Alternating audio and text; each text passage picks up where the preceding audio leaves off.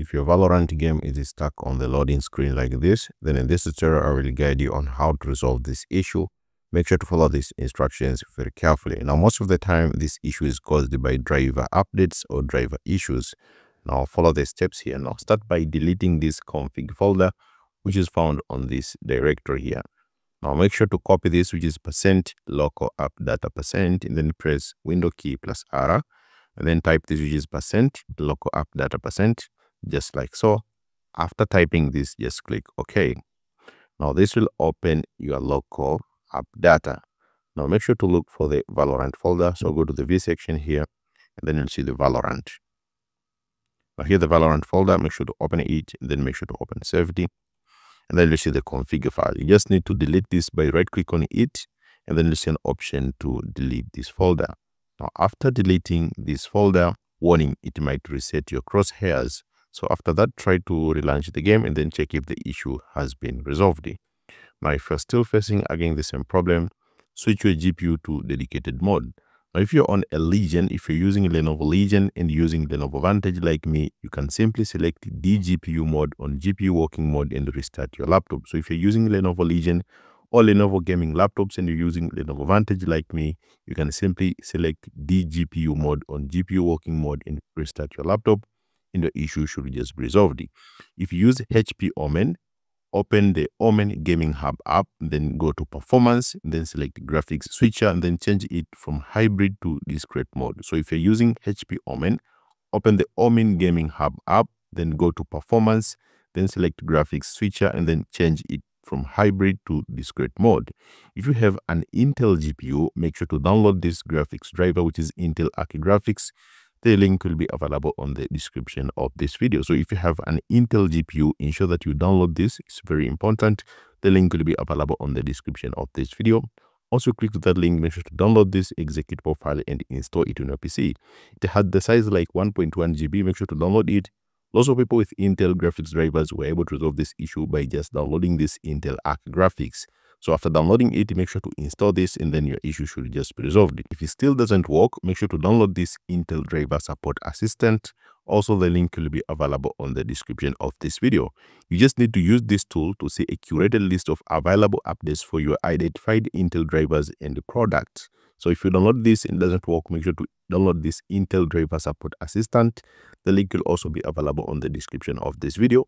It's very important after, make sure to download it and install this executable file. After installing it, you can use this tool to see a curated list of available updates for your identified Intel drivers and products. If it all fails, try reinstalling your graphics drivers. Now, you can reinstall your graphics drivers by using this DDU, which is Display Driver Uninstaller. You can download it from the Guru's 3D official page. The link will be available on the description as well.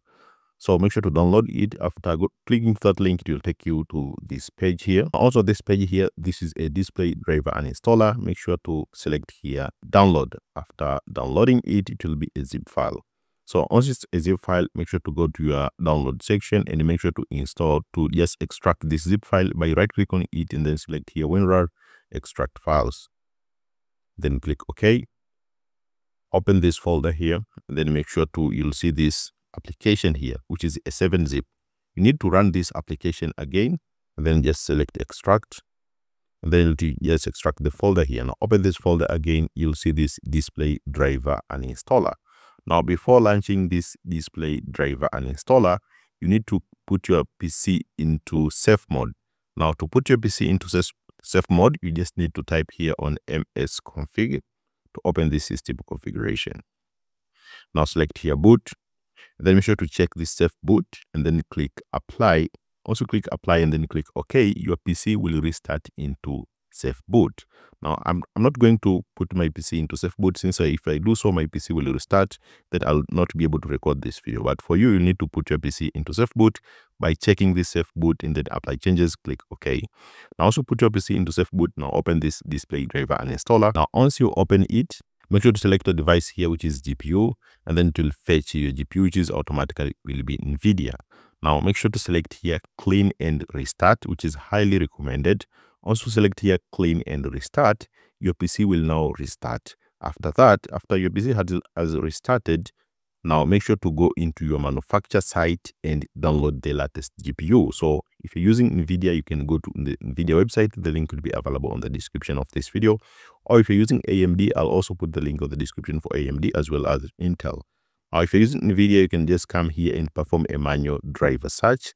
So just select here GeForce RTX if you're using 40 series, select 40 and then choose the, I'm using RTX 4060 for, for you, you need to choose which is tailored for you. But for me, it's like this and select, here find. Now, NVIDIA will try to find the best drivers for you and it will suggest the drivers. Now, it will, it will just take you to the driver page here. You can just start by downloading the latest driver. You can just select here view and then you can select here download.